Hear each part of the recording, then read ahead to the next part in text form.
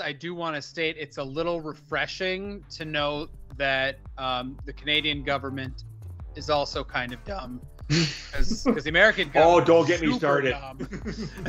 so it's good to know that it's not just us. And then again, if you want to know how bad it gets, just talk to Michael Kovrig or Michael Spavor what it's like spending three years in a Chinese prison where the lights were on 24 hours a day and they had basically, you know, bread and water kind of thing. With no access to their lawyers, no access to Canadian embassy personnel. That's not what it's like when China picks you up. Phil, I need to know are there any conspiracy theories you do believe in? No. Oh, Okay. Well, No. because to him it's not a conspiracy theory then. Because he knows. Okay, okay.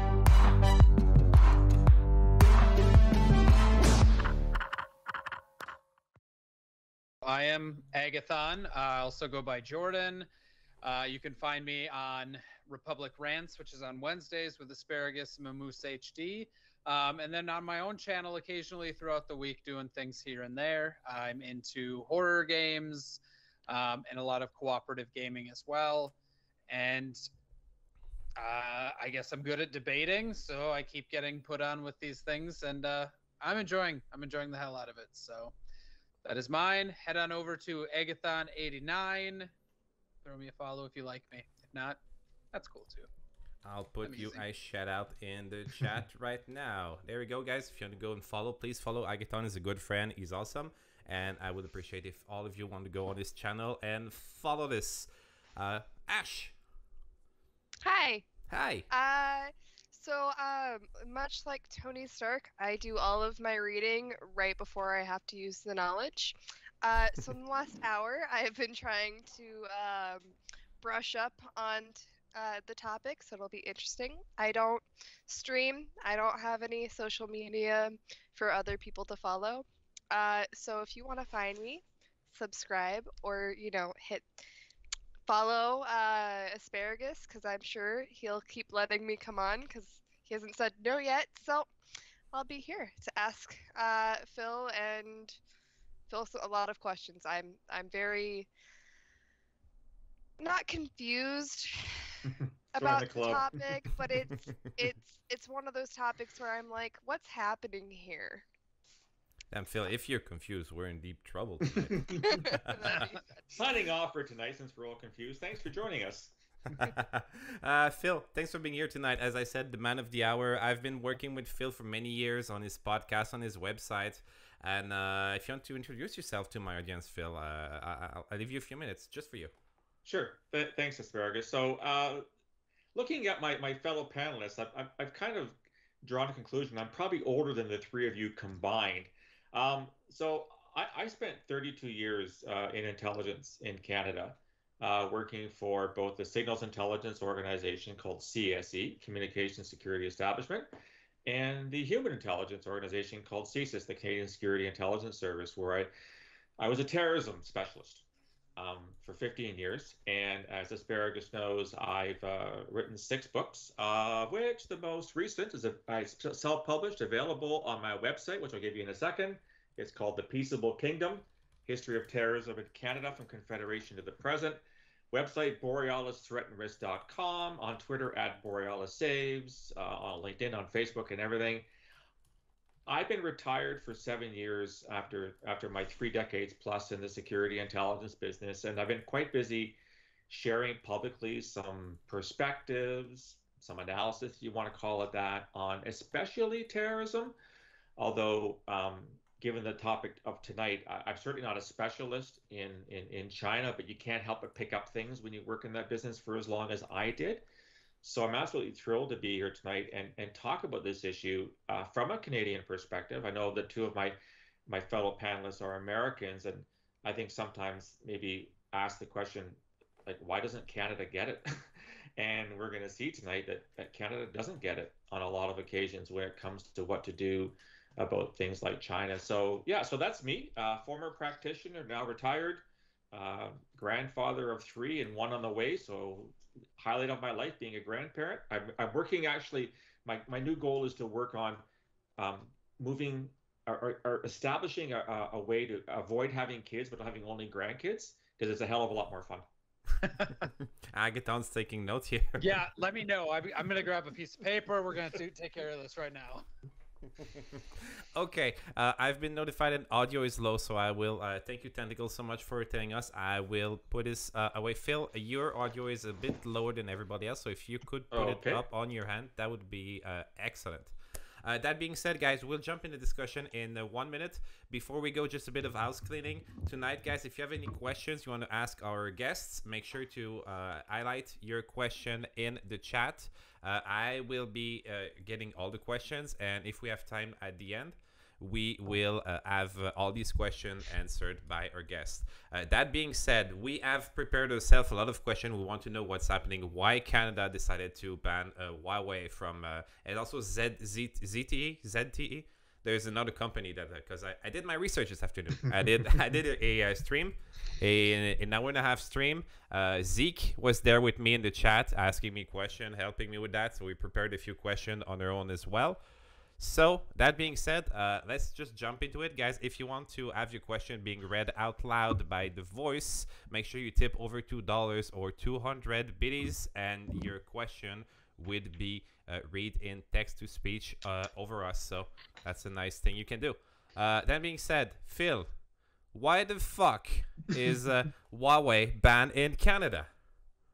Oh, where do we start? So, I, I, you know, it's really important to start off with a couple of things about Huawei and what it is and what the Chinese claim it is. So, Huawei, of course, is a major telecommunications company. It's been around for quite some time. Huawei product is available all over the world. They're one of the big ones, like Ericsson uh, out of out of Sweden, um, that you know provide you know 5G telecommunications equipment. They're a multi-billion-dollar company. Uh, as I said, they're they're ubiquitous. Lots of countries use their infrastructure, et cetera, et cetera. The problem is, is that they're a Chinese company, and the Chinese will tell you that they are a private corporation that acts independently of the of the government of China, which is complete and utter bullshit because nothing operates independently of the Chinese government within China.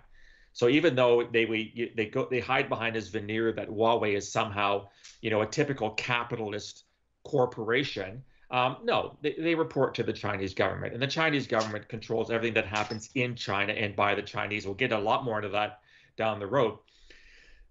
So when when Huawei decided it wanted to, you know, basically run Canada's uh, 5G network, um, originally the Canadian government thought this was a really good idea. Now I'm going to assume, and I don't know this for a fact, I'm going to assume that somebody looked at the technology and said, yeah, the technology is good.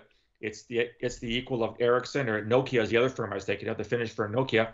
You know, it, it works.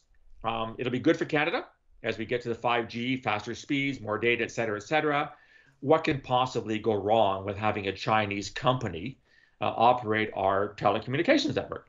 It's, a win-win situation, right? The Chinese win because they get money. Canadians win because um, I don't know how many of the listeners are Canadian, but we got a real shitty telecommunications network, generally speaking, one of the highest in the world in terms of our cell phone yeah. cell phone costs. Yeah. Oh, the cost. Yeah, the cost yeah. is atrocious. Yeah, it's not. A... It's, it's not good. Uh, you know, being being such a big country that's sparsely populated, I know. For, you know, I had uh, internet at my cottage, and it was it was the shits. It was slow. It would it crap out all the time because I'm basically on satellite internet, and it was lousy. So this was seen as something that would be good for Canada. Um, but the problem is, and uh, you know, I'm not going to say that the Chinese saw this as an opportunity to use their network to spy on Canada you know, and to influence Canadian politics. But the bottom line is, as I said in my earlier remarks, Huawei is a Chinese company which reports to the Chinese government. Ergo, that the Chinese government decided they wanted to use Huawei to gain an advantage, they would do exactly that. Now, the problem with other problem with Huawei that people may remember is a couple years ago, uh, at the behest of the Trump administration and our great neighbors to the south of the 49th parallel, uh, Canada arrested the CFO of Huawei, Meng Wanzhou, in Vancouver on charges of, what was it fraud or something? I forget what the actual charges were. It doesn't matter. Yeah i've looked into it this afternoon. It was something uh, related to to fraud or yeah. uh, it was related to a- hsbc and yeah. uh, that's something i don't understand and i still don't understand to this day the uh, the americans wanted her arrested why yeah. did we do it because she was in vancouver So essentially, because we have such a close relationship, um, both from an intelligence and a law enforcement perspective between our two countries. It's one of the strongest in the world.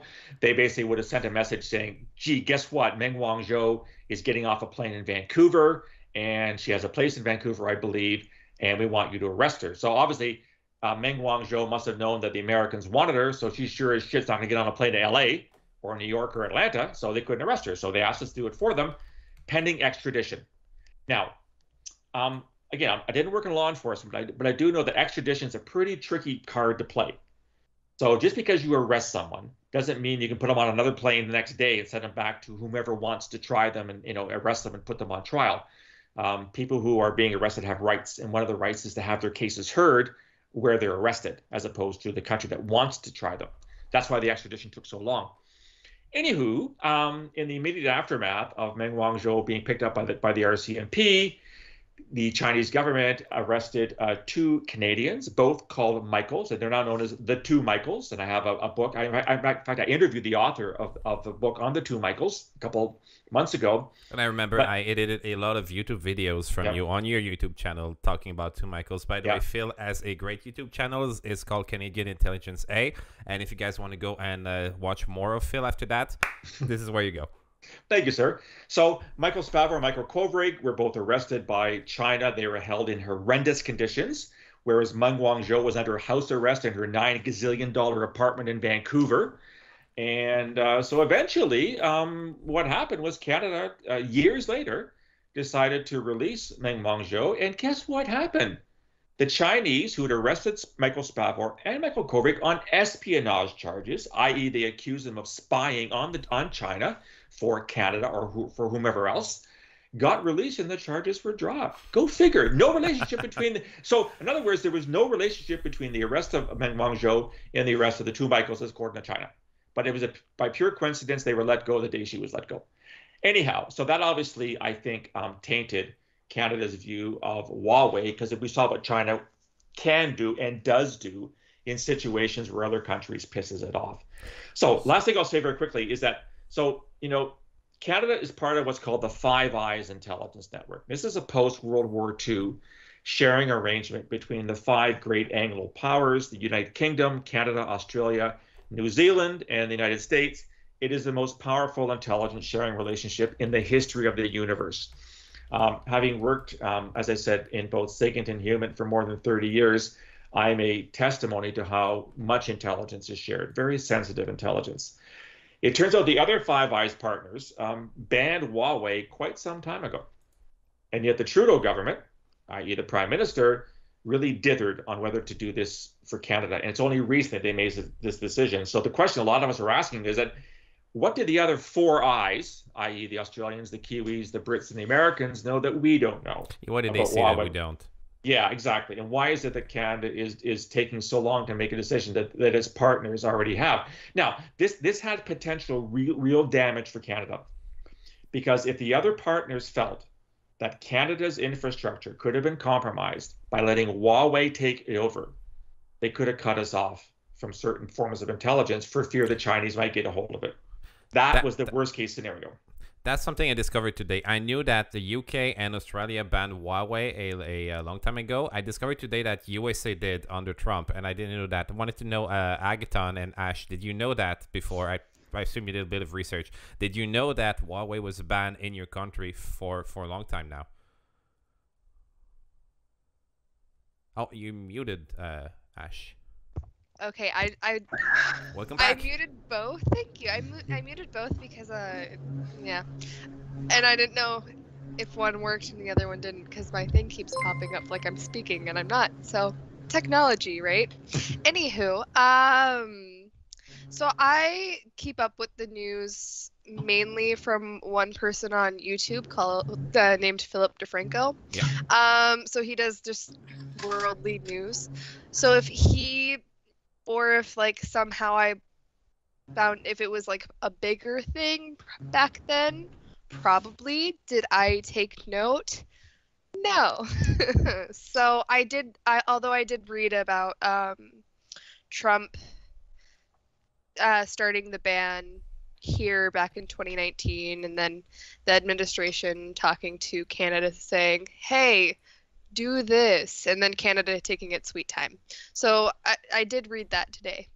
So it's been banned in your country and uh, for a bit of time now, and you did, it didn't have any impact on your daily life, and you didn't even know about it. Yeah. Okay. Uh, so it doesn't seem to be a huge deal. What about you, Agathon? Um, I knew about it. I remember when it when it happened. Um, and there was all these mixed feelings from both Democrats and Republicans because no matter who's in power, the other power always talks shit about the decision yeah. for the other party. So certain Democrats were talking shit about the deal. Um, but I remember a lot of support for it regardless. And I remember thinking, going, yeah, I mean, kick some of some of the shit out of here. Um, I don't really, I don't really know how much it's affected my life because I, I think there's still a lot of other things out there that people that China's probably getting a shit ton of information from without even people realizing it. And the number one I know about is TikTok. So, mm-hmm. um, did I notice a difference? No, because we're we're still fucked. We're they're still getting all of our information. Uh, there's other things that you know doesn't help. I would also uh, correct me if I'm wrong, if anyone knows, but I read that um, Trump passing this was one of the only things that he actually got bipartisan support on. Really? So I thought that was really I I had read that when I was uh looking all of this up. Again, I'm not saying it's fact. I you can read whatever on the internet and it supports whatever you would say. So, but well, I, if true, I'm not surprised, and I and I agree that you know, um, look, at this is what happens in Western democracies: is parties out of power talk shit about parties in power, and then when the parties in power go out of power, they talk shit about the parties that get, get go in power. That's just the way democracies work. Truth. But I wouldn't be surprised if this did have bipartisan support because it was so bloody obvious and this really was a, you know this should, should have been the easiest decision for any government to make. There's so many different providers out there in terms of the infrastructure for 5G why would anyone knowing what we know about the People's Republic of China what they do both internally and externally what they represent why would anybody want to entrust such a major part of their of their infrastructure the internet cell phone you name it kind of thing to a country it, that I have been saying for years is not our friend. You know, I mean, why wouldn't you go with the Swedes and the Finns? I mean, you, you've probably seen the last couple of weeks because of you know that asshole Putin in Ukraine. Finland and Sweden want to join NATO. And these are two countries that have remained neutral since the end of the Second World War. I mean, you know, so Finland and Sweden are friends of the West. They're friends of the Five Eyes. They're friends of democracies. Why in heaven's name would you go with a Chinese firm to produce something when you've got countries that basically function the same way that you do, who could provide equally an equally good product. It, it is again, it's this this should not have been a difficult decision for the Trudeau government to make. What makes it worse? Uh, what about either either this company or its link with the CCP makes it worse than other? Because uh, we have a lot of company that collects many a lot of data on us, yeah. like say Facebook, uh, Twitter. Oh, yeah. Most of them uh, the big the difference that they're not Chinese based. Uh, why is it worse that this one is banned and not other? Was it? I would say you're right. We're you know there, there's data that's collected on us all the time, whether it's Facebook or Twitter. Or, I mean, it doesn't really matter. The difference is is that. Which? Uh, well, exactly. You know, I mean, you can't get around it, right? You you you you choose don't don't accept when it comes to bookmarks and stuff and following, but it doesn't really matter. I mean, we're we're open books as far as you know the internet's concerned. The difference is again that you know if Facebook collects information on you, it's basically for commercial purposes. They want to sell you things, they want to target you with ads, etc. It's all about money.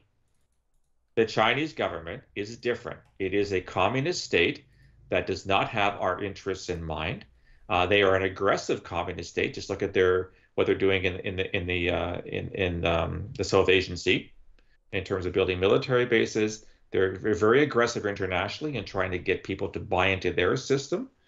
And I mean, I don't want to sound like an old Cold War, although my my career did start during the Cold War. I remember the Soviet Union and its allies was the biggest problem, and you know from the end of the war until the late 19, 1990s.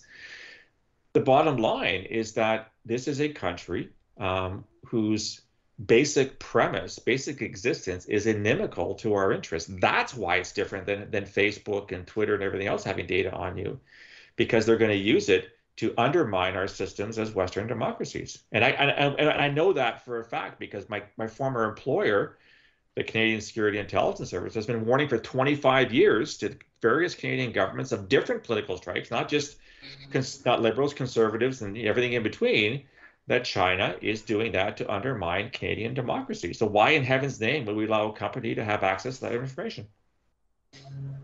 I have a question. Ahead. So I was in in the reading I was doing, and I, I pulled it back up here just so I can have that reference. Um, it said that Hawaii, is, I don't even know how to pronounce Wa- it. So. Huawei. Huawei. Huawei. Huawei uh, is one of the largest. Was what uh back in like 2019, the start. It was like one of the most largest uh, communication companies, and it was predicted to become uh, the world's largest smartphone manufacturer by the end of the year, stealing the crown from Samsung, which is interesting to me because as an American, when I think of cell phone like manufacturing companies, I think of Samsung and Apple, and like I didn't even know about this company until probably. I mean, now I'm really getting into it, but if I heard about it, I'd be like, I don't even know that like that company exists. Is probably why it didn't like stick into my information back when the U.S. was uh, banning it. So I, I, I want to know if there's a reason why most people, at least I don't know if you guys, um, Agathon, I don't know if you know anything about that company before the talks. I, I like, know they sold the cell phones, Like- cell phones for super cheap. I remember that. I was like, shit, I can get a phone like this for cheap. But then I was like, oh, it's just a cheap Chinese knockoff. And guess what? Not wrong. And Mm. they'd be stealing stuff. Um, but no, I'd, I'd heard of the company, but I, I don't have any experience with them. I'm just I'm interested in Samsung how they got to be so like big, but I I mean maybe this is just my American air like um, like arrogant American self being like I haven't heard about it, it's not important, but Well, no, I don't. I don't. I don't think most people really paid attention, right? Like, uh, like, like you said, if it's a cheap knockoff, you know, I just, I just renewed my phone. I, I got a new phone a couple months ago, and I went with another Samsung because I like Samsung. But yeah, I mean, if if I was if I was a starving student and I could get a Huawei phone for one tenth the price, you think I would go for sure to go for it. But chances are it's a piece of shit. Just ask the Russians about their Chinese tires for their vehicles in Ukraine right now, that are basically, you know, uh, bursting. So Russia got a lot of its its military stuff from China, and it's all, all a piece of shit, which is one of the reasons. Aside from that, the Russian soldiers are shit, but that's one of the reasons why they're not doing so well in Ukraine, right? So why would you buy a Huawei phone knowing that it's basically an inferior product? Look at again, I, I'm gonna play the age card here. When I was growing up, okay, in the 60s and 70s, if something said made in China, you all knew it was a piece of shit. It was cheap. Now they've gotten better. I mean, certainly are, there are products that that you know are at least adequate but you really have to wonder, you know, in terms of the top end telecommunication stuff, is this stuff really top end, or does it go back to the early earlier, at least reputation that China had for not producing the best stuff? And be, again, they can sell it for a loss because they're state controlled, Yeah. right? There's no need to make a profit.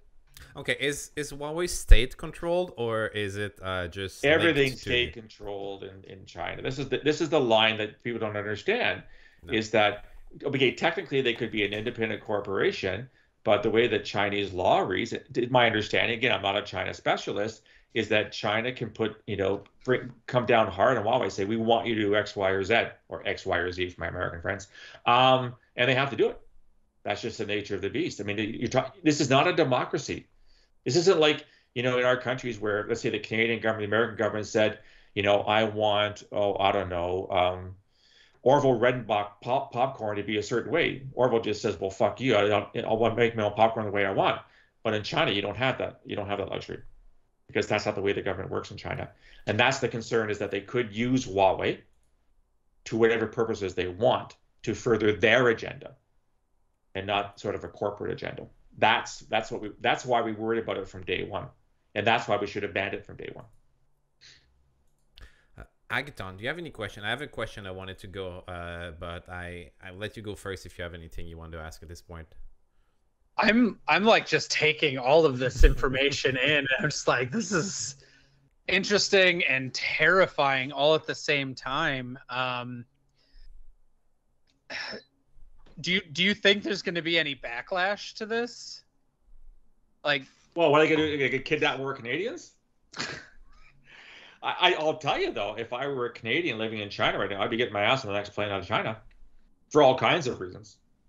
Um, you know, who knows what they're, you know, it's, it's like Putin threatening Finland and Sweden, right? Because they want to join NATO. Um, you never know how far they're going to go. And, and, I think that if you're in China right now, especially if you're in a, maybe a sensitive sector, um, you might want to think about leaving. I'm not saying they're going to do anything, but and then again, if you want to know how bad it gets, just talk to Michael Kovrig or Michael Spavor what it's like spending three years in a Chinese prison where the lights were on 24 hours a day and they had basically, you know, bread and water kind of thing, with no access to their lawyers, no access to Canadian embassy personnel. That's not what it's like when China picks you up. Uh, Elish here says something that goes with what you said about the quality of phone. Uh, Elish says ZTEs are cheap. ZTE is the other company that was banned, yeah. uh, as well as Huawei. They uh, they operated at uh, and quality are cheap, and honestly, I would never say anything good about them.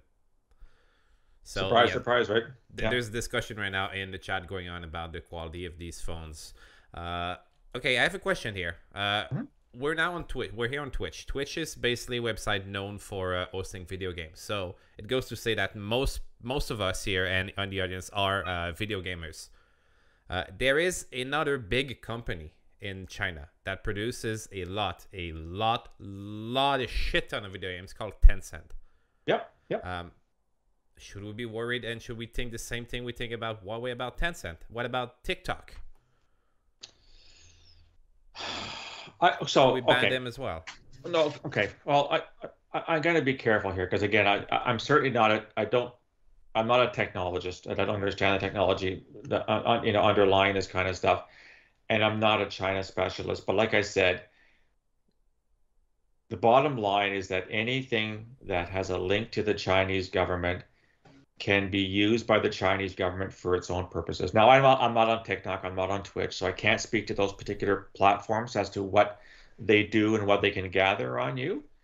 But I just think that people should be should be um, rationally and reasonably skeptical when it comes to using Chinese technology. I, again, we you know we, we've developed this relationship with China over the past 30 to 40 years, largely because um, they made cheap products and they were cheap both economically and they were pieces of shit. Now they've gotten a little better in certain in certain sectors, and trade with China is in the in the trillions of dollars, right? I mean, we send stuff to them, they send stuff to us, blah blah blah. But to me, you have to go back to what is the nature of the you know the People's Republic of China, the Chinese Communist Party, and what is it that they're trying to achieve? And what they're trying to achieve is not that different than what the Soviets and their allies tried to achieve in the aftermath of Second World War. They want to extend their dominance. They want to extend their influence, and they're not they're not a democracy. They're not the same as we are. They don't have the same the same priorities. They don't have the same way of looking at the world that we do. Just ask Taiwan. Just ask the Uyghurs. Just ask the Tibetans. Just ask Hong Kong. Just ask all the nations in the South Asian Sea. Ask the Thais. Ask the Malaysians. Ask ask the Filipinos about Chinese aggression in the South Asian Sea. So yeah, these guys uh, they're not on our side. So so that should let you know make you ask the question: Should you in fact be supporting it by going on these platforms and buying Chinese products? I, I try not to buy Chinese products, but you know what? It's next to impossible. It's next to impossible these days to buy a coffee maker or whatever that's not made in China. That's that's the way we've allowed I think, the Chinese economy to dominate our own economies these days. And we're seeing because of COVID what happens when you know when, when travel is restricted and shipping is interrupted because of mass pandemics. I just I mean I just have read that you know Americans have a shortage of baby formula. What what the hell's I mean what do you mean you can't make your own baby formula? No, it's probably all made. It's probably all made. I don't know where it's made, but it's not made in the states anymore. We, we talked about this exactly last week. That's funny that you bring that. Uh, we had a discussion about Roe v. Wade, uh, and we had Yeah. a lot of uh, a lot of, uh, of mothers in, in the, uh, the chat, and also Agathon is a healthcare worker, so I think he knows Yeah. about that. And yeah, that's funny you bring that same topic two weeks in a row. Yeah, yeah. Uh, there's also short. I don't know if it's the case in Canada, but as I said last week, I have a friend uh, who's a mom, is a mother. She's in Canada, and she, they have a shortage of, of medication, so she's not able to get Yeah. medication for her sick children. you know like the the the global economy is great like i'm not trying to say we should go back to the old system where we didn't trade trade's really really important but the fact that we have basically outsourced a lot of our basic industries to other nations and when that something goes wrong with those trade links you're fucked right because you can't you can't produce it in your own backyard anymore and i'm not saying we should you know every cou- country should have should duplicate the efforts of other, of other countries but you know certain basic necessities like infant formula, like maybe cell phones, things that are really, really critical. Like I don't give a I don't, I don't give a rat's ass where you get your potato chips from. Like that's not a, that's not an essential product. You know, if, if potato chips Debatable. Phil, Phil, I'm in Well, Quebec. No, I'm from Quebec. We have poutine here. If, if you say poutine is not essential, I, I'm gonna fight you on this one. potato chips, not potatoes, right? No, potato chips. As long as I got my cheese curds, I'm good. but you know, but you have to really ask yourself. I mean, like, so you know, if China were to invade Taiwan, which is a very real possibility at some point down the road, you know what percentage of semiconductor chips Taiwan makes? It's incredibly high for the world. For the world. So if China were to take over Taiwan and basically say a fuck you to the rest of the world because you, you opposed our invasion of which, which of course the Chinese say is really Chinese territory and Taiwan doesn't deserve independence, which is why Taiwan doesn't have a lot of people that recognize it as an independent country because they're afraid of pissing off China. Now all your semiconductors are now being controlled by China. Good luck with that. Yeah. Right? So I had um read something interesting too where so uh asparagus you had asked about all of these other like companies like TikTok and Twitch to be banned but it looks like you know it, Percent. it I don't wasn't think Twitch is uh, Chinese. oh sorry did I hear Yet. wrong I heard I, I heard I heard Twitch My- Well, I'm curious, Or but I don't that think it is. Uh, Twitch is owned by Um, Amazon. so- Amazon. Yeah. Yeah. Uh, basis. Okay. Um. Oh wait, that makes so much sense. Anywho, I ig- ignore my little brain uh, scuttle there. I. So it looks like I was reading that these aren't like some of these aren't just baseless claims that had been made towards the company. It looks like they uh, there's a case in 2003 filed by Cisco um, that had been proven where they were, you know, actually giving the information. So I like I'm guess I'm assuming that plays like a huge obviously that plays a huge part into the reason why they, you know, have this ban going on. Um so is it one of those things where we should let it like wait till it happens kind of like what you're saying should we automatically just you know stop using these or should we like Well, it, it, it, it it depends, right? It depends what kind of risks we want to take. But, you know, getting back to this, the basic question about Huawei uh, and Canada. So we talked about how all of our partners had already banned them years ago, and this government was taking its sweet time um, replicating and following their lead. Um, and, and I really think this was for two primary reasons. This is just my personal opinion. I can't prove it. One is that we got a shit ton of money invested in China, and we feared that if we banned Huawei, we would lose out. So Canadian investment would go down the tubes. Secondly, and this is a more damning um, accusation against not just this government, but Canadian governments over the decades, Canada and Canadian governments is a terrible user of intelligence. They don't understand it. They don't think it's it. Yeah, well, yeah, because I saw it firsthand. They don't think it's important. They don't, they don't know how to use it. They reject it when it goes against their their assumed um, their assumptions, things they're going to do anyway. And so, like I said, every CSIS director, Canadian Security Intelligence Service, where I worked, has been warning for 25 years that China is actively spying in Canada, is actively interfering in the very large Chinese Canadian community. We had we had evidence that during the last election, which was back in September of last year, September 20 of 21, that a candidate who was running in a largely Chinese um, Canadian riding. Inf- China was spreading information against that candidate, so they lost the election. So they're influencing the vote, and that's what China's intelligence is doing. So we we've known this for decades, and yet successive Canadian governments of whatever political stripe don't seem to want to hear it. So why the Trudeau government all of a sudden did this? Really good question, because the Trudeau government from what I gather, and, and, full disclosure, I have I didn't work for the Trudeau government. I had retired before Trudeau became prime minister. I don't see any reason to believe that they are any better users of intelligence than previous Harper government, which was conservative. And we saw during the so-called Freedom Convoy in Ottawa back in January that this was this big trucker convoy that paralyzed downtown Ottawa for like what was it, six weeks or so, or th- three weeks.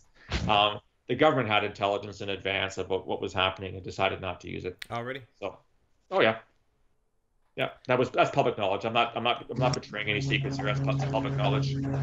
Now, this is very very different than um, getting a lot of background noise. Yeah, Agathon, you have a uh, a lot of background noise suddenly.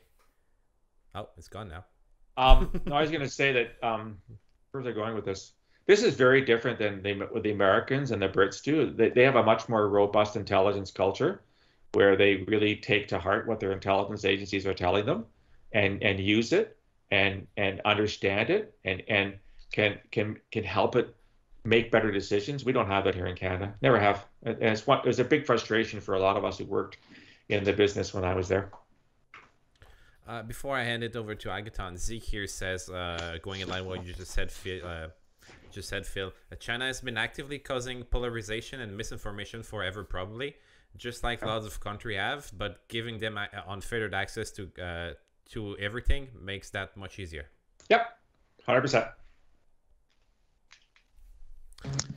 So my dog decided that now was a great time to start drinking out of his water bowl, um, and he's a lab, so it's just loud as as all get out. Um, I I do have a question, but first I do want to state it's a little refreshing to know that um, the Canadian government is also kind of dumb because the American oh don't get me started. so it's good to know that it's not just us. Um, but now that you see that all these these countries that you've mentioned, the um, you know New Zealand, Australia, UK, US, and Canada, that they've all banned this, do you see this other countries taking hold and possibly banning them as well or oh what a great question um that's a really really good question um oh agathon looks so proud i'm so proud I, i'm gonna go on a limb and say yes and i'll tell you why um i'm gonna use a bit of analogy here so you know you probably know that um a, a lot of countries especially in europe were basically sleeping with the russians for the past couple of decades, right? They saw Russia as a big ally, Russian oil, Russian gas. The Germans, the French, they all thought Putin was their best buddy, blah, blah, blah, blah, blah. Well, now they're seeing that Putin's an asshole, which we told them a long time ago with his invasion of Ukraine. And hey, full disclosure, I am actually half Ukrainian on my mother's side. So I have a Ukrainian flag flying in front of my house. Um, oh. Yeah, I don't speak it, but I my my my maternal grandparents emigrated from Ukraine and during the First World War in, to Canada. Canada's gonna like you now. um, so now everyone's seeing Russia for what they are, right? So Germany wants to ban Russian gas imports. Um, people don't want to talk to Putin anymore. Say the Finns and the Swedes want to join NATO. All, all kinds of stuff. I'm hoping that at least Western countries will will extend the analogy to China, and they will maybe consider bans. The problem is is a lot, a lot of what we call third world countries. Can I can I say third world without getting banned on this this? Can I use that term anymore? I have no idea. I've, I've lost track of whether what are the woke culture terms these days. Anyhow, um, you look at um, African and Asian countries, and they are basically up to their necks in in debt to the Chinese because the Chinese have been very very successful at what's called the Belt and Road Initiative, building infrastructure in Pakistan and Sri Lanka, in sub-Saharan Africa, you name it, and I'm I'm less confident that those countries would, would ban Chinese um, infrastructure or technology because they'd be afraid that, Ch- that China would basically call in all those loans yeah. for all this like the billions and trillions they spent on infrastructure like ports and you know sewage facilities and all this kind of stuff. so so basically to sum up, um, I'm cautiously hopeful that Western countries will see what China's all about, but I'm less hopeful that the rest of the world will. So they kind of, uh, in a way, taken the hostage by all these. Oh uh, yeah, they're they're screwed. They're screwed, right? I was in uh I went to Africa in the latest years. I went to uh, uh to South Africa Mhm. and I went to uh, another place that I forgot. And both places, uh, there were big big constructions going on Yeah. and we asked what's happening. They said, "Oh, Chinese government gave us a lot of money. We're building this, building Yep. airports, we're building hospital and Yep. everything." And they were all saying, "Yeah, we're going to have someday we're going to have to pay that back and we hope they don't ask for the loans back right away." So, it seems to Well, be but what it's worse than that, you see, like so. I'll give an example of Sri Lanka, where they they built a major port in Sri Lanka, and I don't know if you've been watching the news lately. Sri Lanka is fucked economically. They basically it's almost on the verge of collapse these days. Basically, um, if Sri Lanka can't pay China for the port, guess who owns the port? yeah. China. Now, now China, now China has a port in the Indian Ocean that they can do whatever the hell it wants with. Maybe they want to you know, use it for commercial vessels. They maybe down the road they want to maybe have some military vessels visit that port. So now you've basically given China a complete opening into an ocean where it has no interests. No, it's just like it's like China being an Arctic nation, right? China's really interested in the Arctic Ocean. Look at a map, people. Where's China's border with the Arctic? Well, there ain't any. But they've decided that they that they want to have an interest in that. So, yeah, it's you know, if you can't pay the piper, then the piper owns what he just built for you. Um, we have question from chat coming on. Uh, I uh, don't don't worry, uh, Ash. Uh, you don't have to apologize. Uh, I I love it so much. If you want to read Zeke's question, that'd be awesome. I have one question of my own that I want to ask just before, because I did some research this afternoon. I was uh, telling you before I did my homework, and I watched an interview with uh, Guy Saint Jacques, who was the uh, former Yeah. ca- Canadian ambassador to China. And uh, the interview was all about possible retaliation. What could they do if they're uh, upset about the banning going on? And I want to know your advice on that because I don't know if it's all through. but I don't see why he would lie, but I have no knowledge on this. Uh, Guy Saint Jacques said that China is not in a good place to retaliate against Canada now, and we have more, much more leverage than we think we do.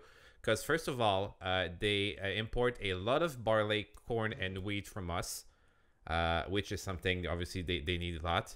Uh, their room to maneuver is very, very short because they're in a bad economic situation due to, first of all, their uh, COVID stance, they, their zero COVID situation, Yeah. and the uh, the war that's going on because they decided to side up with the. Uh, with the uh, with Russia, and Yeah. also uh, China's main source of electricity apparently is coal.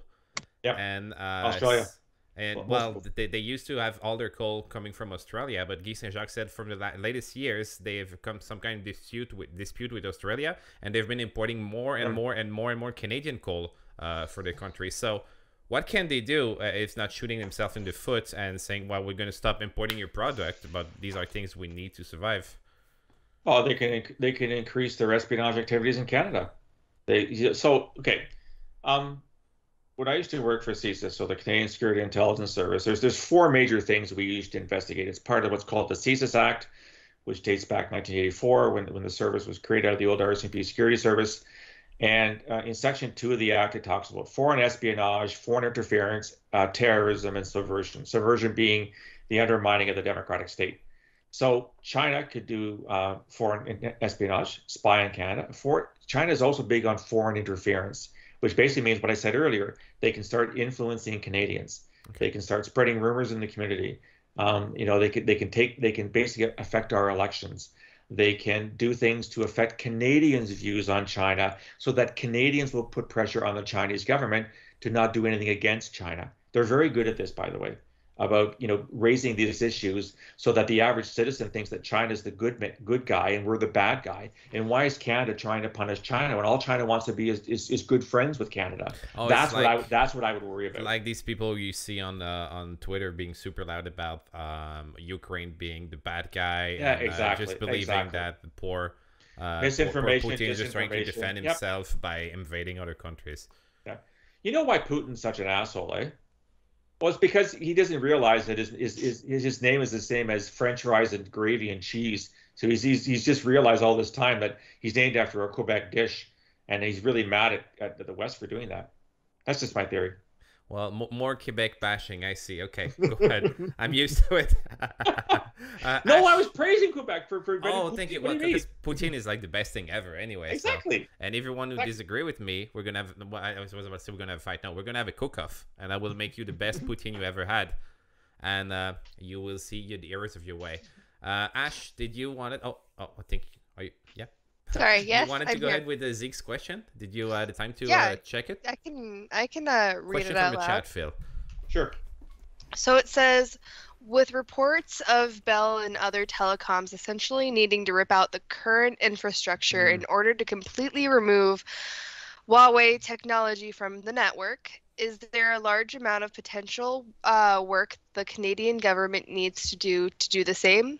This applies in general not only to for China technology, also what are the thoughts on no rebate for having to rip out this mm. stuff? Okay. Um, I, I guess I am a bit of a nerd. I'm a real Star Trek fan, and and again, as the older yes. uh, citizen of this particular group, I remember the very first Star Trek. Okay, uh, Captain Kirk. I was around. Okay, when that was first out. Not a very good series, by the way. Um, I'm a real Next Generation fan. It was the best one of all, as far as I'm concerned. Okay, Deep I've Space got two Nine. thumbs up. Deep Space. Oh, Deep Space. I've been trying to watch it. It's a piece of shit. Anyhow, asparagus. Uh, did we just become best friends? Deep Space Nine is the best. Okay, let's. Okay, I gotta go now, guys. My uh, uh my time's run out. Um, but I, I want I want to compare Huawei infrastructure in, in answer to this question with with Borg. Remember when Picard was invaded by the Borg and he had all these tubes running through him? Yeah, and it was, it was a bitch to get it out, right? Okay, that's probably the analogy for what you'd have to do for the, the infrastructure to start. It's not impossible to do, but because we were asleep at the switch for so long, we find ourselves in a situation where a lot of the infrastructure is already there, and you're going to have to take time to rip it out, just like Captain Picard had to have the Borg ripped out of him. Now, you would create opportunities for other companies, be it Canadian, be it American, be it uh, Ericsson, be it Nokia, whatever, and there'd be a shit ton of money to be made by companies in countries that share our values, i.e., Western democratic values. So that'd be a good thing. Should there be a was it was the question a rebate or something about you know um, I have no idea I, I can't answer that part of the question but um, and it would take time but I'd like to think again I'm not I, you know I, I don't run cables for a living but I like to think that you could do this while the system is still up and running, where you could, you know, t- do it simultaneously with uh, with providing services already. So yeah, it'd be a great idea to rip all this shit out. Uh, and you basically say to Huawei, you know what, we're not going to use any of your any of your technology anymore. Go go screw yourselves. Uh, why not? It would create jobs as well. Woohoo! Okay, that's that's uh, creating job is always interesting. Quick, uh, quick, quick here, interaction here. Um, people in chat, thank you so much for being here. We are still going to talk about, uh, we're still here for at least uh, 20 minutes, uh, half an hour. Uh, we are talking tonight about the Canada's latest decision to ban Huawei and Z- ZTE's product from its uh, for, from the country. We are at, we are having a special guest tonight, Mr. Phil Gurski, who worked in the Canadian intelligence for uh, a long time. Uh, Ever, forever. Forever. Uh, CSC and CSIS um, intelligence analyst. And I'm uh, I'm uh, seconded today by a good friend Agathon, good friend Ash, that are helping me. And we have a lot of questions for uh, Mr. Gurski. If you guys have questions you want to ask, like Zeke did, make sure to highlight your question in the chat to make sure I see them. And uh, me or Agathon or Ash we'll read them for you. Uh, make sure, you because we are, uh, we still have 20 minutes, so make sure if you have a question, shoot them now. Quick question here about removing the Borg implants, because uh, we all see seven of nine never got your implants removed anyway, so you can see it's a pain in the ass. Uh, I have some some uh, dates here and data. So Canadians company now have until June 28, 2024 to get rid of all their 5G's equipment from Huawei and ZTE. However, uh, they have until December 2027 to get rid of all their 4G equipments. And maybe this is out of your uh, of your field, but I want to know: is there a difference? Why is it more important to get rid of the 5G equipment quicker and 4Gs can wait a little bit? Okay, yeah, I'm gonna be careful because, like, you know, um, like like I said, I, I I do a lot of interviews in Canada when it comes to like intelligence and especially terrorism. And I sometimes get requested to talk about cyber, and I say very very politely, to the interviewer. I can't spell cyber. I think it starts with an S. So you're asking the wrong guy. Um, but it seems to me that you'd want to rip out the 5G stuff first because that's the faster, more efficient system to which we're all going towards anyway. I mean, who the hell is going to be using 4G in a couple years' time? Right, everything's 5G, right? I mean, who? I mean, okay, um, you know, who, who uses the dial-up modems? Anybody put their hands up? Dial-up modems? Uh, no. We, I have a question though. I don't even know how you can use 4G instead of 5G. My phone just does it for me. Yeah, well, that's my point. yeah, so like, so I, I guess you know, get, get, rid of the most important stuff first, first, because that's the one that everyone's migrating towards, and then if there's some threat that's still underlying, then rip out the 4G stuff as well. But I don't know what that entails. Like, you know, are 4G wires green and 5G wires red? Are there even wires? Okay. Is it all fiber? I have no idea. But it seems to me that you'd want to make sure that the, the best system that your country is using for its you know for its network is the one you want to protect first and then you clean up all the other shit later uh, Zeke might have an answer here. He says when he was doing some reading, the reason was 5G is decentralized and harder to control. Oh, okay. Well, there you go. But then he asks whether that's true or not. I have no idea. So. Well, it's on the internet. It's true, right? Everything on the internet is true. Obviously. Well, we are on the internet, oh, so, so we are. Yeah. um, before I go to uh, uh, one of my last questions here, because I have a lot, uh, Agathon and Ash, you wanted to uh, jump in with something? Not necessarily a question. I just, um, you know, we're talking about all these 5G companies. It's never occurred to me to actually start seeing what the big companies are. And they're out of the five major ones, two are American, two are Chinese, and one's Finnish. Mm-hmm and what are they? It's just like uh, Ericsson, Qualcomm, no, Nokia, Nokia, Nokia, Huawei, ZTE, and Cisco. Yeah. Oh, Cisco, yeah. yeah. yeah. So you got so you got three Western companies and two Chinese companies. Uh, there's no question really here. I'm just. Yeah. Like it's just why why would we have chosen to bring Huawei in here anyways if we have these companies? They probably offered it. They probably offered it at a much much cheaper rate. They're probably selling it at a loss originally, right? I will. And when we were talking about the made in China, it just is like, yep, made in China, made in China, made in made in Korea. Fucking everything's made in China. Yeah, like I said, I, growing up as a kid, that was we knew it was the cheap stuff. It, it fell apart right away. Yeah, I um, just looked at the speaker right next to me, and it says "Made in China." So yeah, I so did you did you just point of your collection of autographs? No, no, no. I know where those were made, but the frames they're in were probably made in China. So it would still be correct. Yep. Yep. Yeah, the paper that the pictures were probably printed on were made in China, and the markers that were used to sign them were probably made in China. Stop hurting me.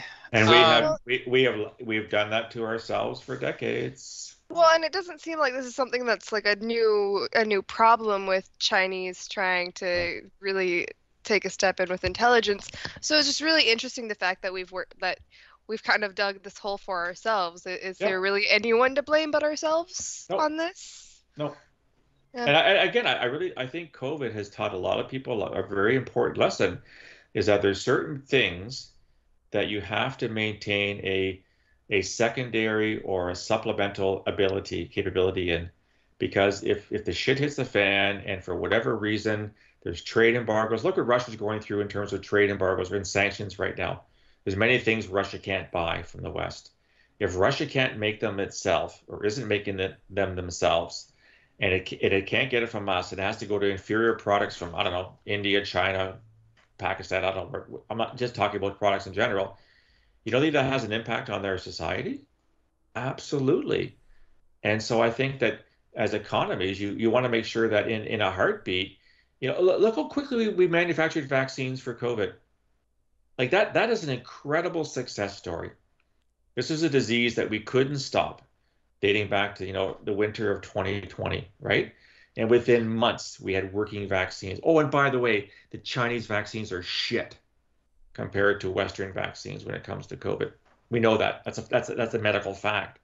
So if the Chinese, you know, are making shitty vaccines, do you want to have shitty cell phone infrastructure from the Chinese? Ask yourself that question.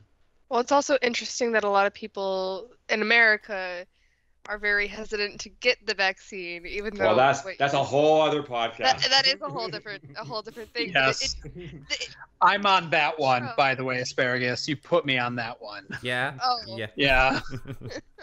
me too. So- I'm for it. All right, so I'm going to ask a question based purely on my lack of knowledge of these things.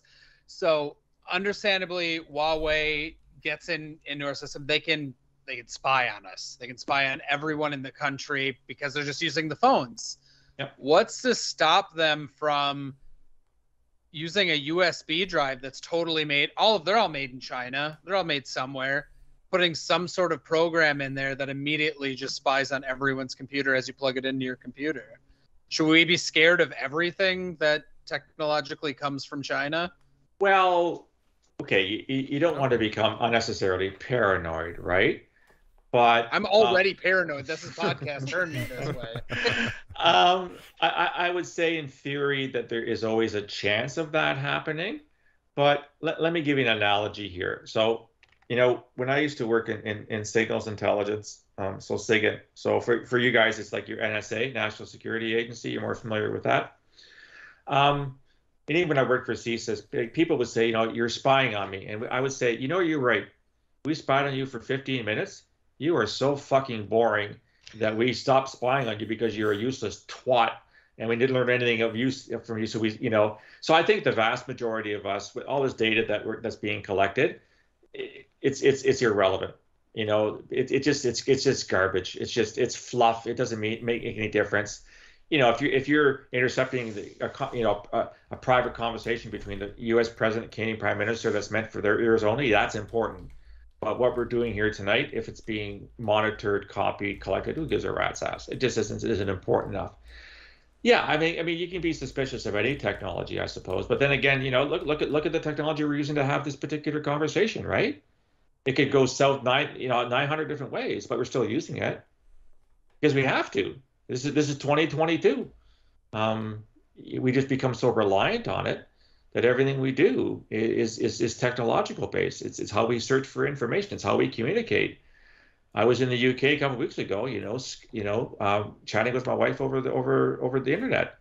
Could have been intercepted, yeah, probably, but big whoopee deal, right? I'm still going to talk to my wife. Doesn't really matter. So, yeah, I mean, it, it, it- I didn't really answer your question, and I apologize. But I mean, in theory, the answer is yes. But most yes, of us they just could, aren't- but aren't no that one wants to know no- about all the nobody- memes nah, I. Nobody is that important, really. No one really gives a shit about what we think or do. We're sorry just, to, sorry to we're deflate just your ego. we're just sheep. Nah. We're just part of the sheep. We don't have any real like ho- like hold on this comp on this like government's like Yeah. infrastructure. So I, I don't think so.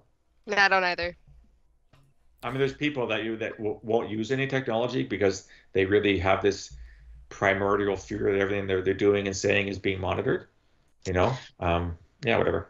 Well, I mean, and, and you can date it. Oh, not date it, but you can also correlate with people who don't want to give DNA to companies like 23andMe Yeah. for um Yeah. Practically the exact same reason. Which I'm just sitting here like, okay, so I just don't have to do anything illegal. Yeah. Where my DNA is there, like.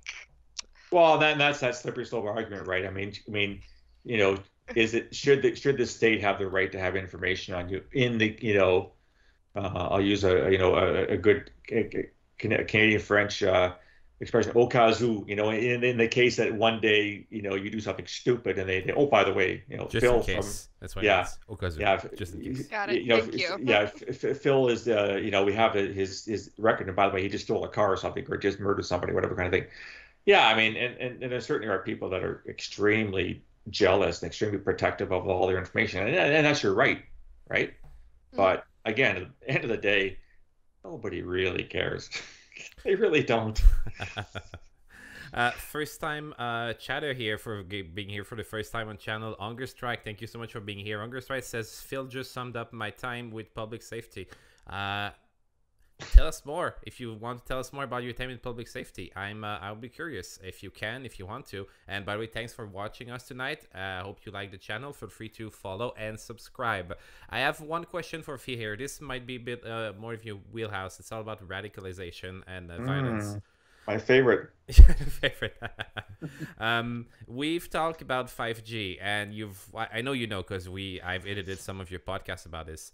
Uh, some conspiracy theorists believe that uh, 5G uh, is a dangerous product that could, I don't know, like make you magnetic. I don't know what it is today because it's always weird and change. Maybe turn you into a Borg or I don't know where it is right now. But some people think that 5G is bad for you. Uh, do you think that banning a 5 Canada deciding to ban and USA and UK deciding to ban a company that produces mass produces 5G uh, produce will bolster them these people and somehow give them some uh, so, so some they will believe they're more right about their, their their beliefs and could radicalize them a bit further. Okay, I, am just going to ask Bill Gates, who's beside me right now. Um, I, I, I asked Bill everything because Bill knows everything about me, right? And and, and, and, and Bill Gates runs the world. Bill and what Phil. Bill, um, what do you think about that? No, um, look at, um, the, I, I, find conspiracy theories really, really interesting um, yeah. because most of them are really, really stupid. Yeah. And and they, they, they make no sense whatsoever. The problem with conspiracy theories, and this is this, this, you, talk, you talk about radicalization. So this is this radicalization, which is a term I really I've come to hate, even though I used it for like 15 years, because it means so many things to so many people. Um, the problem with conspiracy theories is that you can definitively prove to the to the nth degree that what they believe in is complete bullshit. And their immediate response is, "But you would say that because you're part of the conspiracy." so it it's really really hard to get people who buy into this stuff to stop believing in it. It becomes part of their whole universe kind of thing, right? So there's no question that um, this is going to happen. I mean, again, I, I really like analogies in this case. So one conspiracy theory that is still apparently very, very strong, and, and, part of it's due to a guy called Alex Jones. I'm sure my two American friends are familiar with him. Oh, um, fuck. Yeah. oh, the, here we go. The Sandy Hook killings, right? Back in 2016, what is it, or something like that, where that kid walked into school and killed all those kids in kindergarten. There is still a conspiracy theory that that was actually a government operation. Now, we all know that you'd have to have like two brain cells to believe that kind of thing. But it's still a very, very strong belief. Just like, you know, um, was it that pizza parlor, Comet Ping Pong in, in, in Washington was actually a Hillary Clinton sex uh, child sex ring. That's why that guy went in and tried, you know, to rescue the children from the basement kind of thing, right? So the problem is with the conspiracy theorists is that it doesn't matter what you say or what you do, they're going to find some other way to explain things. So I, I don't know that it matters what you do, whether you ban Huawei or you don't ban Huawei, you take it out of 5G, you don't take it 5G. They're going to twist it in, certain, in a certain way to fit their own paradigm of how the world works. Now, there's, there's a good, there's a good, there's a silver line in this cloud though.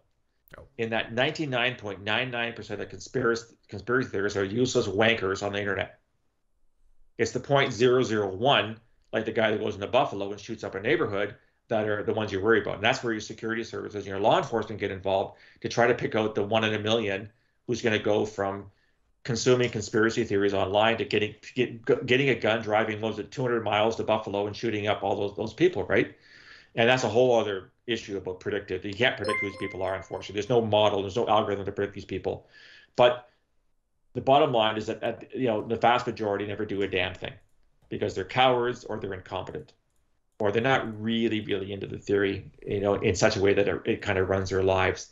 But yeah, in terms of conspiracy theories, I don't have any advice to anyone listening or in, in, to us watching us today, but what to do about it, because you know it is what it is, and and they just have this belief system, and it doesn't matter how many times. I mean, um, you had a whole president, you had a president for four years that basically was a conspiracy theorist, and and he would you know deny simple facts you know, the sky is blue. No, the sky is not blue. It's actually black. No, no, sir, look up. Well, that's not the sky. That's that's some kind of a, veneer that's you know the Democrats are using to show the sky is But blue. it's a great, great, great sky. you know so yeah i mean yeah the, the people that'll use this whole thing to to it'll feed into their theories but again what are you gonna do about it and, and Yeah. you know one in a biz, one in a bazillion will go off the rails and do something violent and so hopefully you're not too worried about this. well, no, I'm not. But Okay. you know, but stories like Buffalo, they're tragic stories, getting a lot of press, not just in, in your country, but in my country as well. And people extrapolating, saying this is, you know, a big, big threat. No, it's not. It's it's sad. It's tragic what happened. I wish they could have got the guy in, in time. He actually was streaming it, or he was online. Was a half hour before he started shooting, and no one decided to call anybody. Say, I think this guy's, you know, going to do something stupid. Um, that's, that's you know that's a whole other conversation. Is why people don't do that kind of thing. But this isn't happening every day, and it probably won't happen every day. I, I can't. I don't have a crystal ball. I can't predict the future. Yeah. But you know, I just don't think that we need to worry so so much about conspiracy theorists all becoming violent on the same day, kind of thing. They're they're, they're amusing, I think, at the best of times. Some of the A- stupid shit they believe in. An episode of conspiracy a conspiracy theory will amuse me uh, a lot, and I would love to do that. Uh, before we go to closing statements, we still have a few minutes. Uh, Agathon and Ash, you have any last questions? We can go. Uh, we can make it like two or three minutes by question. That'd be great, and then we I- can go to closing statements. I do, but it's completely not. It, it, it's just, Phil, I need to know are there any conspiracy theories you do believe in? No. Oh, Okay. No. Well, because to him it's not a conspiracy theory then. because he knows. Okay, okay. I, well, there, there's lots of things that I could say, but then I'd have to kill you because I told you. So um, call it a conspiracy theory, but it is what it is. Well, you I mean, know, I'm part of the generation that has a death wish. Let's go. um, I'm ready. you know, I mean, there certainly are conspiracy theories that have a small element of truth to them, an actual fact, but then it goes off to the nth degree, right? Where it goes on, it's like these concentric circles, and it just keeps expanding and expanding, expanding. It just gets really, really like you know, really like into nut job territory. So maybe there's a kernel of truth there, but no, I, I, I, I just find conspiracy theories just really, really amusing. I got some of my own. I, I believe Well, in, but we, you we have a good one about the Sonic that I agree with you. Oh, that's I. It's it's not it's not a conspiracy theory. That this is one is fact. true. I I, I back you hundred percent on this one. We need to have like a whole Sonic the Hedgehog like just like Yeah. this. I you and I need to stream this. We need to get the word out. Yes, people need if to know. anyone, They've been Well, because they- manipulated by the, the studio who made Sonic the Hedgehog movie. I agree. Okay, I can't spell Sonic the Hedgehog, so I will be part of that one. Okay. I, th- I think I might just need to either sit there and just stare at you guys like this the entire time, or just watch it. I no, will no, you're gonna be baffled and you're gonna come out saying, "Oh, why did I didn't think of that before." Well, it, I've I've been thinking about it since the movie came out. Since like everything started happening with it, I'm sitting here like, are Don't you spoil guys? it. Don't spoil it. We're gonna. I think we're gonna make an episode on this. I, we I need think, to make an we have episode something of good Sonic there, the Hedgehog because I will. I'll probably take over and Okay, don't invite me to that episode. well, at least watch it. It's such a great episode. it, it's gonna be top hitting. I, I promise. uh, Agathon, uh, any last question? Uh, Comment? I guess I guess Yeah, just comment for uh, super interested to know if there is any batshit thing from your entirety that you've worked for that you could tell us. That's just insane, Oh, like a crazy Ooh. story. Um. Oh, there's one I'd love to tell, but I can't. Um, ah, that's so teasing. Why'd you say that? I know. You can't say know. that. We, we we- okay. I'll try. I'll try to phrase in such a way that I don't get arrested tomorrow. Um, there was something we were working on once where um, we had a hard time figuring out what this party was was doing, and then because we we, we were able to intercept um, a, a conversation, and just as we were giving up hope, the person we were listening to told us exactly what we wanted to know, which led to an incredible success in terms of finding something that we were looking for. And it was like it was like this like a moment you don't get them very often when you work in this this the business it's like holy fuck this was the key this was the golden key and as a consequence we made we made it like bandits in terms of what we were trying to achieve it was so cool. It's, it's just really, really cool. I, I, I wish I could give you more details, but I really, really can't. But just to say that when that happens, it's, it's like it's like you know when you watch um I don't know if you guys watch like you know police dramas or whatever on. My wife and I are big on uh, sort of British British cop shows. We love them, and it's like that one that one clue or that one piece of information. Then it's like that unlocks everything. That happened to me on a couple of occasions in my life. It's like wow, this this is why I come to work. This is what makes the difference, kind of thing. Yeah.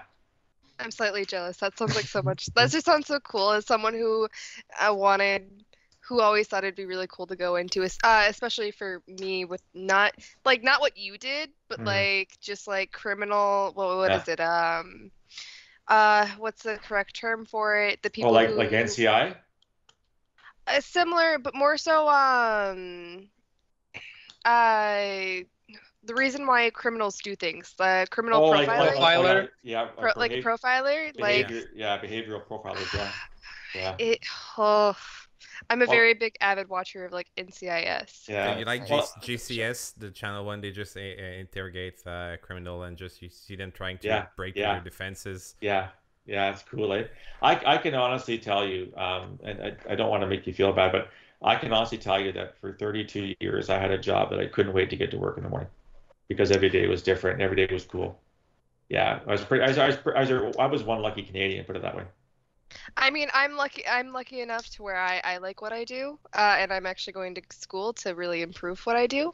Um, but on the other hand, if I could do everything over, if I could just like do something that I never thought I would be able to do, it'd be like criminal profiling and that kind of stuff, because that would just. It's, it's cool. I'm not sure. I- I think it's different than what you see on NCIS and other programs, but it's still really cool to be able to piece that kind of stuff together. Yeah, for sure, for sure. Uh, we are gonna jump into closing statements now. It's been an hour and a half. That was awesome. That was Already? incredible. Already, yes. Well, let, us just say I cheated. One hour and twenty minutes because we had a little bit of uh, audio issues. At A little the bit of yeah technical Um, difficulties. Phil. Someone's dog was dr- like drinking too loudly or something. I don't know. I was, apparently that wasn't what it was, so I don't know what the sound was. Uh, I, I thought you when you said that I was like, does his dog have an automated like waterfall that comes Nope, up when but he that's like all I comes up could to hear. it? Is your Like- dog vacuuming vacuuming the, the uh, Yeah, living room? Maybe. There was literally nothing going on. There must have just been Hmm. some interference. Now we need the do do do do. Well, it was it was Huawei 5G interfering. It was. They're listening it in. They were listening to Yeah. show, trying to to to shut you up. Yeah. If you get if you get a USB thumb drive in the mail, don't put it in. Or if you get if you if you, if you find your dog nailed on, to the door address? tomorrow, that that would be how they get back at you. No, sorry, I just Wow. that's off. That's awful. I'm sorry. I did a joke. You did a dark joke. yeah, Phil goes dark sometimes. Uh, that being said, Phil, thank you so much for being here. That was incredible. I had a Thanks. blast. I That hope you fun. did. I Uh, did. It's fun. I would love to uh, invite you again if you Let's do to. it again for sure. Yeah? Yeah. You guys, I've Well- worked with Phil for like, what, five years? Yep. Uh, I've it been editing his podcast, his YouTube videos, taking care of his websites. I will put links in everything in the chat, guys. If you want to uh, see more of Phil, he has a YouTube channel called Canadian Intelligence Say. Oh, I will let you shout shout this out, Phil. Don't worry about it. Yep. I will put link in the chat. I will give you all like two or three minutes to shout yourself out. But just wanted to say, uh, it's been a pleasure working with you for five years, Phil, and Thank I'm you. so glad that you uh, you were uh, kind enough to come on my show. Uh, now Oh, that no, uh, it's my pleasure. And I, I couldn't have done what I did without you in terms of the website. Remember, I can't spell cyber right. I think it starts with an S. So the fact that the website was as good as it was is all is all thanks to you. Thank you. Now I'm getting red. I'm as good as Agathon to take compliments. So, uh, speaking of Agathons, uh, you want to tell uh, the audience who you are, where they can find you, what you're doing, and who the fuck you are, why are you're here tonight? Why am I here? I don't know. You asked me to be here. Uh, you said hey, yes. let's have let's have some dumb idiot on this show. No, that was Um, my job. Fine. Shit, I didn't even get that. What? I don't even know what my role is anymore now. Yeah, because you Uh, didn't even do your intro. Oh, man. All right. It's true. I did. one job. You had busy- one job. Too busy working. I'm sorry. Uh, I'm okay. Uh, Agathon. You're working healthcare, so I- thank you so much for what you're doing. Thank you, thank you. Um, yeah, I'm a nursing student. Uh, just finished my semester, so I plan on gaming a lot and streaming some more this summer in midst of going camping and all things outdoors. Um, yeah, so Agathon89, you can follow me on my page at that handle. And knowing Asparagus, he'll probably throw out the shout out on there because he's really good about that. I mean, I could too, I'm a mod. But um, yeah, uh, I play a lot of horror games, but I just love talking with people. So most of what I do is just playing games with other people or doing events like this with other people, and I enjoy it. So yeah, that's me. That's me. I really gotta like write some shit down, like script it like you do, so I don't sound like an idiot every time I open my mouth. I don't script anything. I just I'm just very good at repeating the same shit You're over and over really, and over really again. good so- at things. I get it. get it, asparagus. You're better at everything. Thank you. took you while. It took you long enough, Agathon. Um, Oh, I admitted Ash- that the first day. oh, Ash is taking notes for the fanfic. That's what you're doing, right? I saw you Yeah, taking your you phone? Because I totally Uh. didn't make it obvious. oh, is it my turn? It that is what you your have- turn, and people are, are just realizing that your back backdrop is I- fake now. I saw that. It made me laugh. Um, yeah, I, I wish my like apartment could look as nice as this. So I think, you know, I might have to find where wherever this backdrop is and go live in it. oh, come to Canada. It's, it's, cheaper. it's like class. I, I I would love to move out of the states. Uh, we'll see. Um, well, I also want to go back to school. So Tough choices. you know. so many choices. Uh, well, I have a hundred names. Um, Ash, Taylor, Jade. Uh, call me what what you what you must. Uh, I don't have socials. I don't have anything to promote, so I will promote Asparagus for being such a lovely host. As much as I uh, uh, give him shade all the time. Um, drop a follow drop a subscription. I'll be here. I think wait, I- I think it's this Wednesday. I'll be on the uh, Republic Rants. Possibly Wednesdays. The guys did not come back to me yet, but uh, on on S- Saturday at least. Uh, Oh, you yeah. wanted her on there? Ew. oh yeah. on Saturday, uh, if you liked uh, Ash, we're gonna play Pico Park, which is a co a co-op games of eight people where we absolutely have to work as a team, and people like to troll and uh, to make us fail. So there's probably gonna be a lot of raging, a lot of screaming, and a lot of failing. So Ash is gonna be there, part of the crew. I'm gonna make it known right now. I'm not gonna like purposely try and do things to sabotage. It's Then just you're gonna doing seem it that wrong. way. well, no, it's just gonna seem that way. I'm gonna be making a lot of mistakes. I don't play video games. That, that's the whole point. The point is to see who's gonna rage and scream first. So there you go, you got it. It's gonna be you. Agathon, really? Thanks for this gift of sub, What? buddy. What? What? What? What? You not mean to gift subs? What? Agathon, thank you so much. You're the best. Uh, I know. Phil, who are you? Where can people find you if they like what they well, not if, because they liked what they hear Ah. tonight. So you can go. You can find me uh, on my website, borealisthreatandrisk.com. Borealis, as in the Northern Lights, because I am a proud Canadian. That's where you'll find all the podcasts, all the blogs. Again, the website is thanks to Asparagus, who built it for me. Uh, find me on Twitter at Borealis Saves, also on LinkedIn and on Facebook. Um, and you will also find a link to my latest book. It's self published. It's called The Peaceable Kingdom A History of Terrorism in Canada from Confederation to the Present. It is the best book ever written because I wrote it. Uh, it's my it's actually it's actually my sixth book, but it's the only one that I've so I wrote six books in six years after I retired um, from um, the Canadian Security Intelligence Service in 2015. So if you're interested in terrorism, especially from a Western perspective, I've written extensively on terrorism, which was not the topic for tonight, but still something I spent an awful lot of time working on and now thinking about. And uh, yeah, no, it's been a thanks for inviting me. It was a it was a it was a riot. I really like really enjoyed the format. I enjoyed um, it, just talking about this, even though as I said, it's China is not my specialization and I'm not a technical guy. But I think it was really cool. I think to ask these questions because I think the average person needs to know a lot more about them. And I think we have to educate ourselves on what is out there and, and, and what the possible challenges are. So no, thanks again for the invitation, and I would be back in a heartbeat if we can figure out a topic that would be that I could talk sem- semi-intelligently about. Oh, and by the way, I wanted to also um, mention further Agathon's comment. I am a real bad schlock horror movie fan. I've been since I was a kid. I grew up in the 60s watching um, really old Dracula films and Frankenstein on Saturday afternoons. It was what I, what I did. And I'm currently watching a 1972 film with Peter Cushing and Christopher Lee called Horror Express. It is bad. But as far as I'm concerned, the worse the better. Exactly. So like it, these are really the the, the the the acting is the shits, the the props are the shits, the special effects are the shits, the dialogue's the shits, and that's what I read or watch rather. And my wife just laughs at me and says, "I'm not watching that with you. You can go in the basement and watch these shitty films because I, I'm that's beneath me." But anyhow, so I'm so after this, I'm gonna go finish watching Horror Express and see what happens to the two million year old um, frozen hominid that's killing people on a train. I can't wait. That's awesome.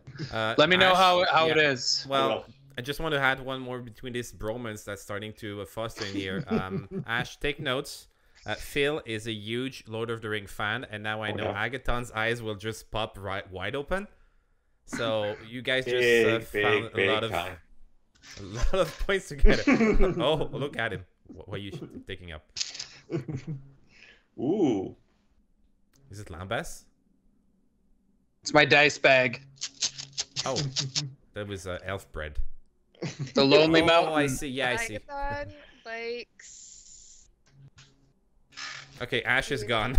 Taking notes for the fanfic. Uh, Phil, last comment here. Uh, Hunger Strike apparently seems to know you because Hunger Strike says, of course, that we don't know the real name. They said, Phil, we talked about Battlestar Galactica a few years ago. Did you get to it?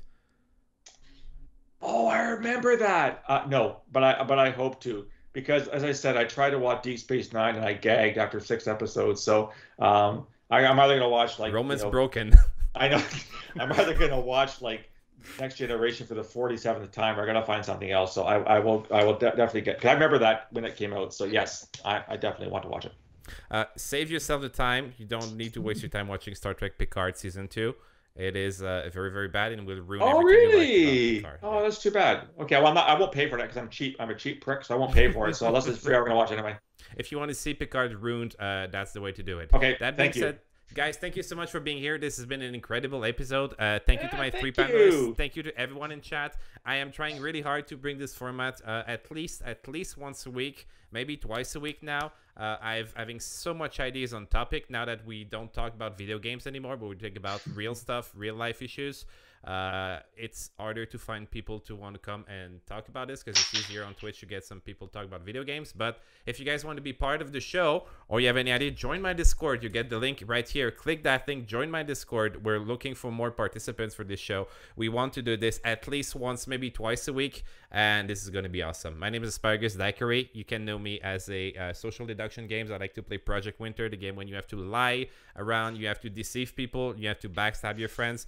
I need to get Phil to play uh, Project Winter with us because I think he's going to be good at finding out who's lying to us. I know you don't want to play games. I've been trying for years to get you to play fucking games. I know.